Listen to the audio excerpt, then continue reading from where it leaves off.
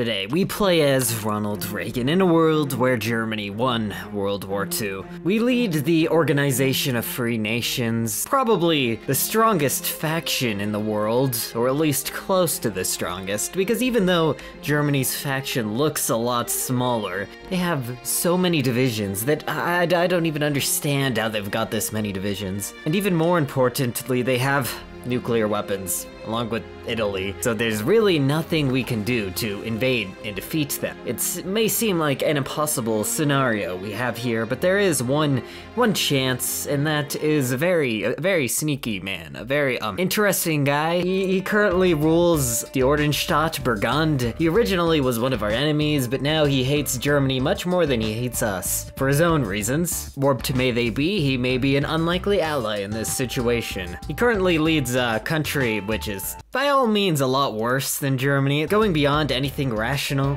The Burgundian system infects his country, the opposite of democracy or rationality. We could potentially just invade him. He only does have one singular nuclear weapon, so it's not like he could end the world. But invading him right now would not be a good idea. The enemy of your enemy is your friend, right? Or at least kind of. Anyways, I guess we'll just have to see what he does. I'm sure that he will be very helpful. I I'm sure.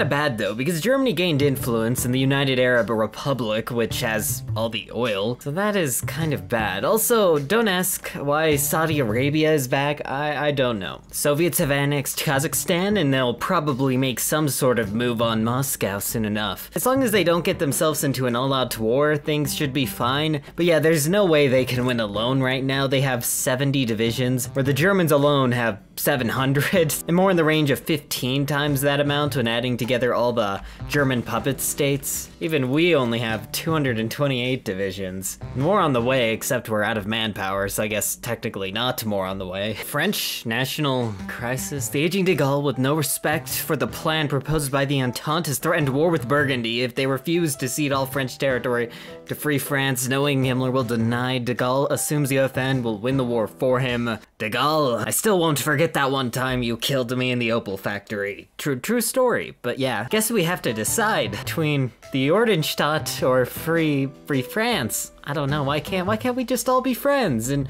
we can deal with all these issues once the Reich is gone? I guess De Gaulle is pretty old. He probably he probably wants to see France unified sooner rather than later, because otherwise it might never happen for him. I guess we have to have priorities here. I feel like we have to um look to the future here. We have to go forward with the plan. We can just have the Entente, but France is Burgundy instead. Yeah, that that works. They'll own pretty much all of France anyways. I guess here we go.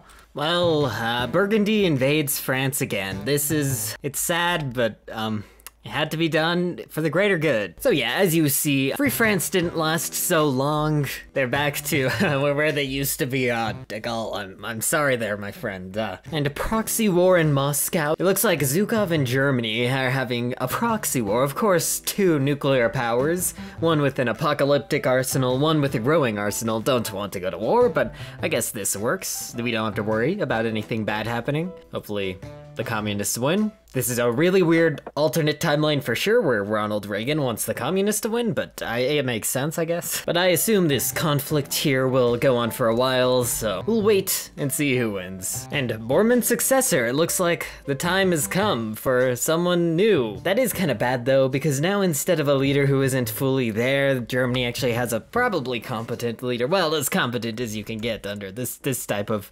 ideology, but uh, we'll still find a way to stop them. And Germany has released some nations. I guess maybe they're moving in the right direction. Kind of, maybe. Probably not, We're, we we still have to defeat them anyway, most likely. Also, it's kind of bad. Germany's side of the proxy war is 5 to 7 divisions, and the communist side only has one. Communist side has 10 more mills, so if anything, they should have more divisions. I don't know, I don't get it. And Japan's great project. News from Japan suggests the government has put several emergency restrictions on its flourishing genetics field. Hmm, you, you think this might have something to do with this? And our boy now has two divisions divisions, but the enemy has 8 to 10 now. I, I really don't know how they're doing this. Anyways, we don't know exactly what World War III will look like until the conflict is resolved here, but the plan right now is to support our pretender in a civil war. Yeah, something like that. We, we have to frame it in a way so they don't think it's a nuclear war, but we'll just send a lot of help to our guy, and then he can invade Germany without it seeming like an invasion, maybe. I, I don't know. We'll just clean up all the puppet states and stuff and make sure that Germany doesn't hit the button or anything. It's definitely not gonna cause the world to end for sure. Uh, but yeah, we're going to send a lot of equipment to Burgundy. We have a lot of extra stuff that we've seized from random people that we took over, well, liberated, but you, you know what I mean. We'll send a lot of this over to them so that they can have a better chance in the war. I'm sure they have plenty of equipment, but they can always have more. We'll just make sure Burgundy's all ready to fight a war against Germany. Of course, there'll be plenty of CIA agents and OFN uh, details or whatever to make sure sure that Germany is being secured for the OFN and not him. We can't let him have any uh, hold on the nuclear stockpiles. The CIA is very competent. I'm sure they can handle the task of making sure all the missiles end up in our hands. And while Ukraine and Ostland are pretty loyal to Germany, we could maybe try to start rebellions in Poland and Crimea and the Caucasus. We could have some success there and maybe flipping some people. Italy was also cooed by Germany, so there has to be some sort of democratic sentiment still living on. They were a member of the OFN for at least a decade, I think, and a member of the OFN has gone its own way as I guess the battle for India is concluding. And unfortunately, Germany won the proxy war, so that's unfortunate. That was a lot of industry and land that the Soviets could have obtained. Uh, top secret briefing on Japan. Top secret. Just as the stock exchange in Tokyo was on the up, several members of the Mimtashi clan found out that the largest hedge fund in Japan has shorted over 100% of the stocks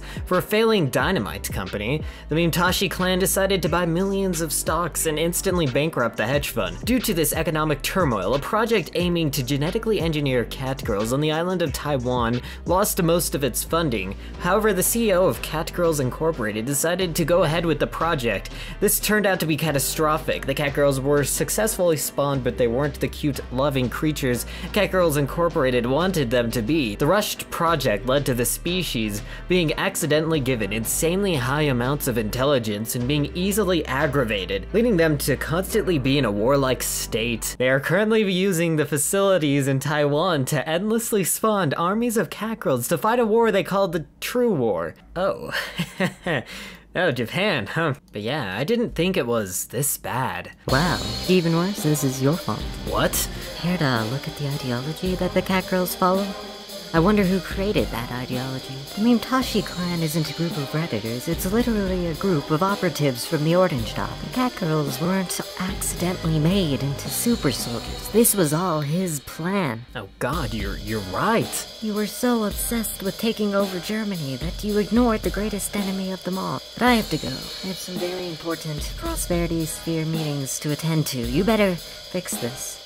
Okay, well, I guess I'll be fair. Thinking about this again, it probably wasn't the best idea to help Himmler. He's probably a lot more of a threat than than Germany ever will be. This was a bad idea. I, I probably shouldn't have given him all the Lend-Lease and southern France. I probably should have taken him out while I still could. Well, I guess I still could. Maybe. Probably not anymore. I guess he is like 77 years old. We could just wait this one out, guys. Well, I guess he did make a cat girl army. So maybe he's found some sort of secret of immortality. That That's probably in the realm of possibility here. I think we really need to switch our plan around from dealing with Germany to maybe getting Germany to help us deal with Burgundy. Oh yes, better industrial expertise, nice. Also, yeah, China, yeah. But at least this is kind of a good thing, because now there's no way Japan's going to retaliate against India for eating up their puppet state there. We have a ton of armies, we have all of our navies surrounding Burgundy, all of our planes here. We can't,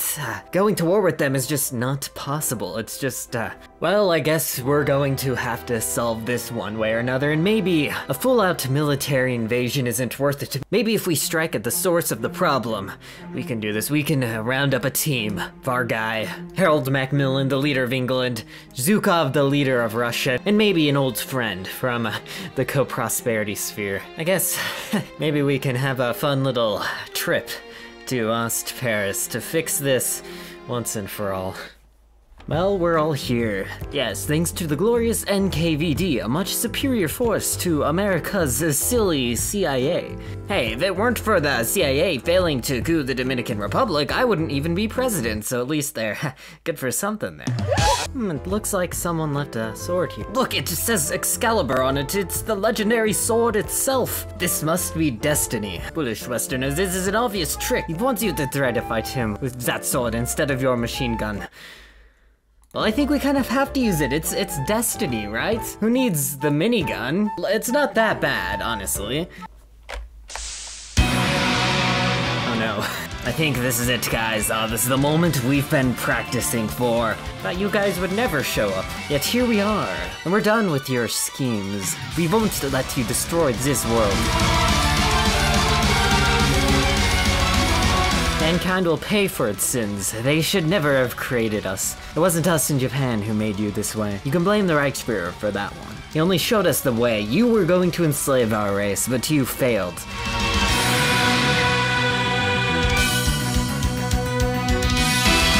Yeah, I kind of feel bad for this guy. Al almost. Y yeah. It's not too late. You can still back down. No, it's too late. I need to see these four dead.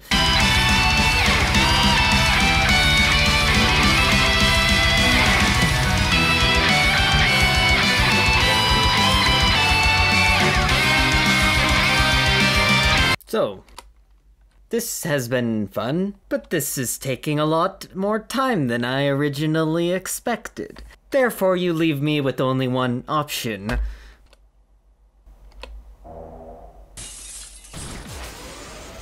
What was that? It's top secret.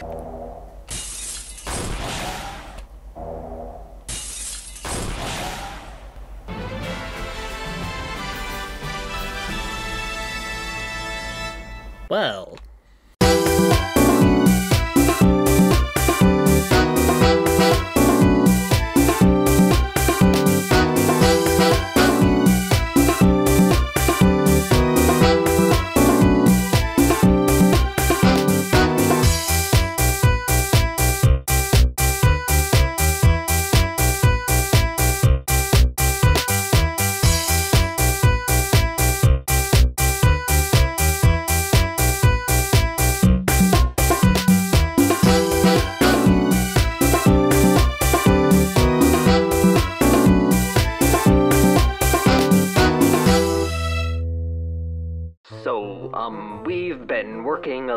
With the NKVD lately, and, uh, they have been hurting a lot of our feelings. I, I, I don't know that they're just so condescending and always act like they're, uh, better than us. I don't know, it's annoying.